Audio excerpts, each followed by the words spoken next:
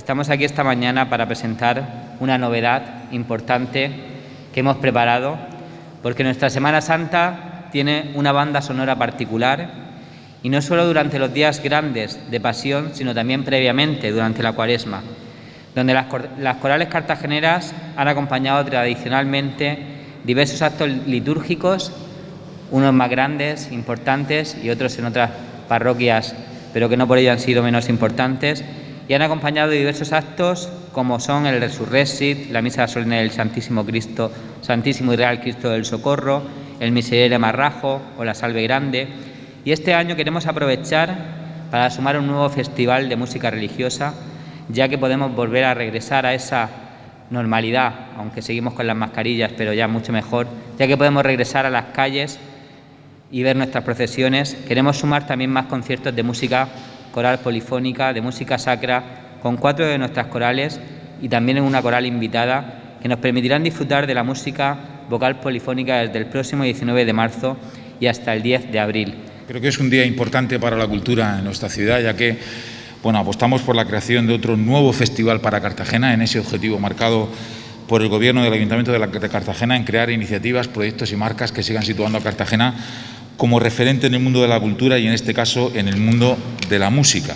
Desde la Edad Media, época en la que se formaliza el canto litúrgico, hasta nuestros días, el canto coral religioso ha sobrevivido contra viento y marea y prueba de ello es este festival que les presentamos esta mañana y que llenará de voces apasionadas nuestras iglesias y parroquias. Los componentes de la masa coral Tomás Luis de Victoria, la coral Juvenis Música, la coral polifónica Cartagonova y la escuela coral Sauces sacarán lo mejor de sí mismos para que el festival tenga el éxito de años anteriores en las parroquias Nuestra Señora del Carmen, San Vicente de Paul, Inmaculado Corazón de María, San Fulgencio, Santiago Apóstol, San Antonio María Claret y en las iglesias Santa Florentina, Santa María de Gracia y Santo Domingo. Además, el festival contará con la participación del coro Patnia de San Javier y de la orquesta Virtuos Mediterránea de Alicante bajo la dirección de Gerardo Estrada Martínez. Del 17 de marzo al 7 de abril, el Festival de Música Religiosa será el preámbulo de la ansiada Semana Santa Cartagenera. Yo, por líneas generales, comentar un poco el programa más específicamente. El 19 de marzo tendremos en la parroquia, en la parroquia Nuestra Señora del Carmen a la coral Tomás Luis de Victoria. El 20 domingo en la parroquia San Vicente de Paul tendremos a la Juvanis Música.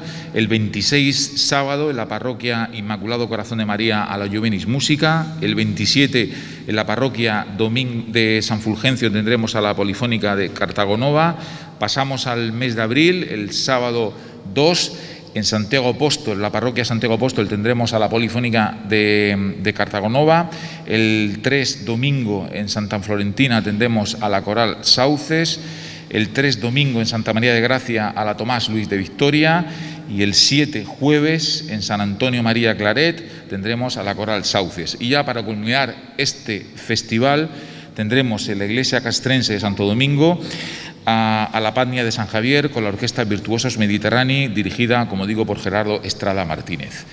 Bueno, nuestra primera sensación al, tener la oportunidad de cantar en este festival es que tenemos una oportunidad de hacerlo con todos nuestros compañeros de Tomás Luis de Victoria, de Juveni Musique, de Cartagonova, Sauces, en fin, una tradición aquí en Cartagena de, de mundo coral que, mm, para el cual en esta oportunidad cantar en un templo cantar donde nuestras voces tienen una resonancia y bueno, un realce que no tiene otra ocasión, pues es una oportunidad enorme. Así que agradecer y al mismo tiempo que nos sigan poniendo nuevos retos y que sigan prestando una atención a esta música tan particular, la música religiosa al fin y al cabo es el instrumento por el cual los, eh, los autores han querido eh, el mejor instrumento que han encontrado para reflejar el mundo religioso ha sido la voz. Por eso encontramos ahí nuestro sitio. Nos encanta tener un lugar también en el acervo de cultura de Cartagena, un lugar donde nuestra, una buena parte de nuestro trabajo, que es el mundo religioso, pues esta idea de, de, entroncarlo en la cuaresma, pues ha sido perfecto. ¿no?